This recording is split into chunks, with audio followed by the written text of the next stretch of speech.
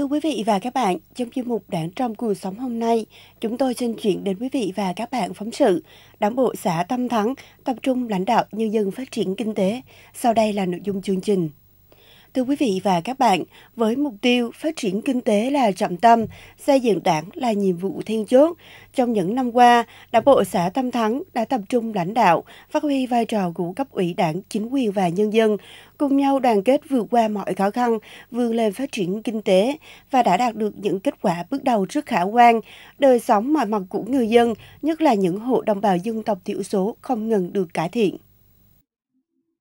Để hoàn thành các mục tiêu nhiệm vụ phát triển kinh tế xã hội trong nghị quyết Đại hội Đảng bộ xã nhiệm kỳ 2015-2020 đề ra, Đảng ủy xã Tâm Thắng đã lãnh đạo chỉ đạo chính quyền và các ban ngành đoàn thể cụ thể hóa nội dung của nghị quyết thành kế hoạch, chương trình phát triển kinh tế phù hợp với đặc điểm từng thôn, buôn.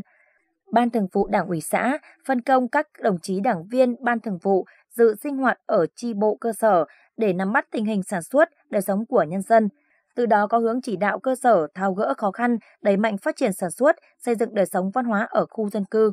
Tận dụng lợi thế về vị trí địa lý, điều kiện tự nhiên, Đảng ủy xã Tam Thắng xác định phát triển nông nghiệp là mũi nhọn của địa phương, trong đó phát triển trồng trọt chăn nuôi gắn với các ngành công nghiệp, tiểu thủ công nghiệp và các ngành nghề dịch vụ khác. Theo đó, đối với trồng trọt đã tập trung đẩy mạnh ứng dụng các tiến bộ khoa học kỹ thuật để nâng cao năng suất và chất lượng sản phẩm của các cây trồng chủ lực như hồ tiêu, cà phê.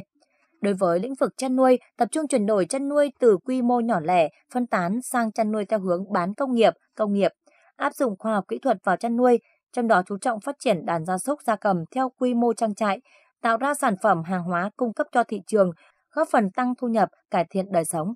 Đến nay, xã Tâm Thắng đã phát triển được hơn 200 cơ sở tiểu thủ công nghiệp, thương mại dịch vụ, 3 hợp tác xã và 14 tổ hợp tác ở các lĩnh vực, trong đó chủ yếu là trồng trọt chăn nuôi, góp phần giải quyết việc làm, tăng thu nhập cho người dân tại địa phương.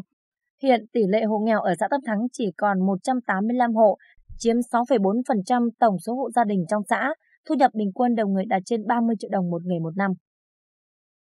về phong trào nông dân phụ nữ hay là uh, thanh niên cựu chiến binh đều hướng về với một cái mục tiêu là làm sao mà cho bà con đẩy được cái nền kinh tế lên và để cho nó hòa nhập với này cái đúng với cái ờ, nông thôn mới là đã các cái chi hội trong các thôn xóm đều và các nồng ghép các cuộc họp và nhất là hội nông dân đã mạnh dạn là đã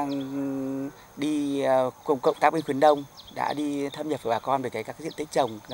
những cây già cỗi hoặc là đã ờ, uh, liên kết hợp với các cái công ty phân bón mà đã có uy tín cũng đã đưa phân bón trả chậm về cho bà con là các cái uh, kinh tế thì đã được đã được thu nhập tính bình quân cả từ trong thôn toàn xã cũng đã được thu nhập đã nâng lên so với so với so với mấy năm trước đây.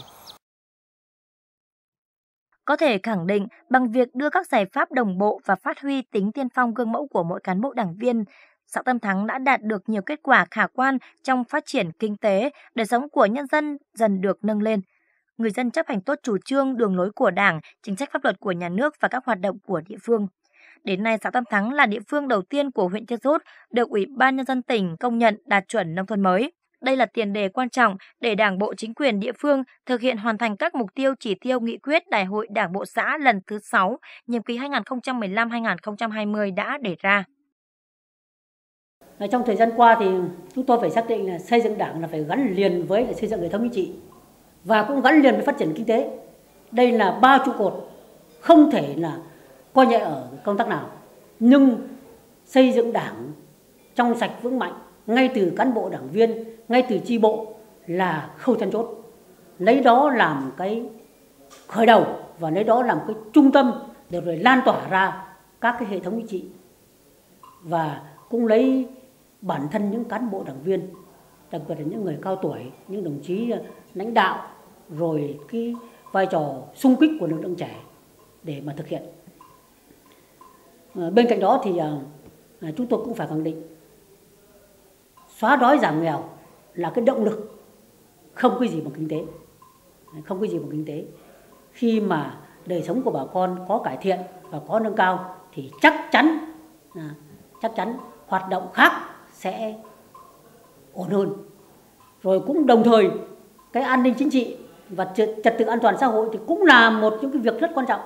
Chỉ khi nào nền quốc phòng về an ninh chính trị trật tự an toàn xã hội mà ổn môi trường nó lành mạnh thì sẽ tạo điều kiện cho phát triển kinh tế.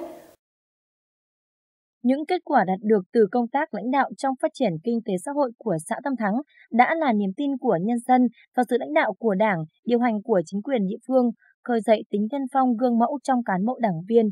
Tin rằng với giải pháp đề ra sát đúng phù hợp với thực tế của địa phương, kinh tế xã hội của xã Tâm Thắng sẽ ngày càng phát triển.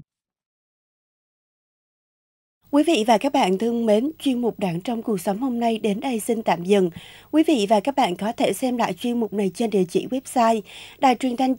đắk nông gov vn Hẹn gặp lại quý vị và các bạn trong những chương trình lần sau. Thân ái chào tạm biệt.